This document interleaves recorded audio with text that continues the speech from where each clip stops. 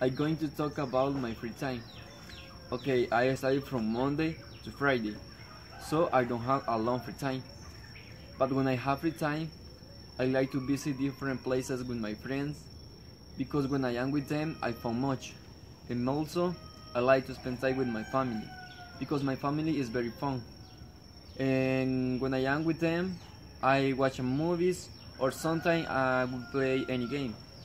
And also when I uh, when I have free time at night, I like to go to the soccer fields with my friend. I like to play soccer at night.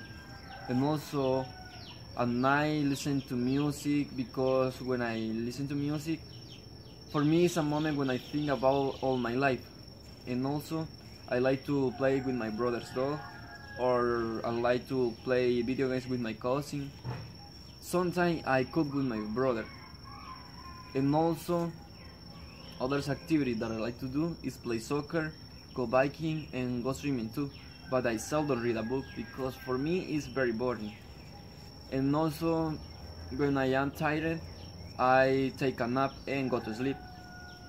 And I like to eat different kind of food, uh, fast food or when I am boring I only watch movies or I eat different snack or different drinks.